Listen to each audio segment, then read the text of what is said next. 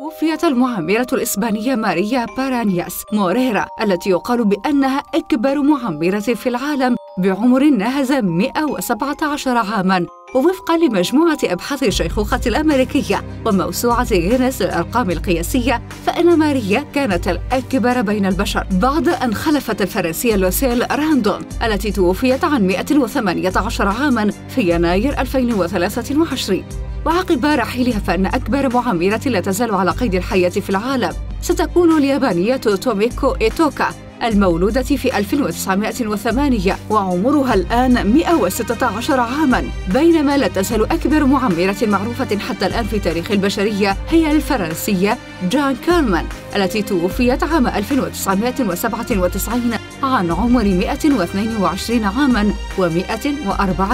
يوماً